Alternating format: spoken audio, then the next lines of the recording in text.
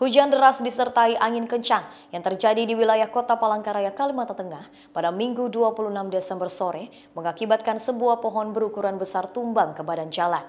Beruntung, pohon tumbang tidak sempat menimpa pengguna jalan. Namun akibat peristiwa ini jalan tak bisa dilalui kendaraan karena tertutup oleh batang pohon. Sebuah pohon berukuran besar jenis waru yang berada di tepi jalan Janah Jari, Kelurahan Langkai, Kota Palangkaraya, Kalimantan Tengah, minggu sore tumbang ke badan jalan. Besarnya pohon yang tumbang menutupi seluruh badan jalan, sehingga membuat jalan umum ini tak bisa dilalui oleh kendaraan baik roda 2 maupun roda 4. Untuk bisa mengevakuasi pohon yang tumbang, petugas Badan Penanggulangan Bencana Daerah bersama pemadam kebakaran serta relawan emergency response berupaya memotong dahan pohon menggunakan mesin pemotong.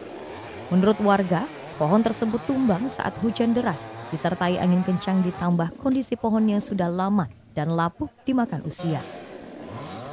Beruntung saat kejadian pohon yang tumbang tidak sempat menimpa pengendara atau pengguna jalan yang lewat sehingga tidak sempat menelan korban jiwa atau luka. Pasti yang mas, cuma memang udah lama. Sudah lama. Iya, ada. Lapuk sudah ya. Sudah lapuk. Ya. Pertama bagian di bawah. Di bawah. Ya di bawah. Tadi, tadi pas, pas uh, tumbang tadi pas apa, Pak? Pas hujan deras ya, Mas. Hujan deras. Angin kencang. Angin kencang. Tidak ada korban, Pak.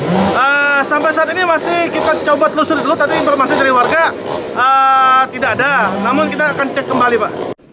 Selama proses evakuasi batang pohon yang tumbang, Jalan Janah Jari Palangkaraya ini sempat ditutup untuk sementara waktu bagi kendaraan dan dialihkan ke jalur lain.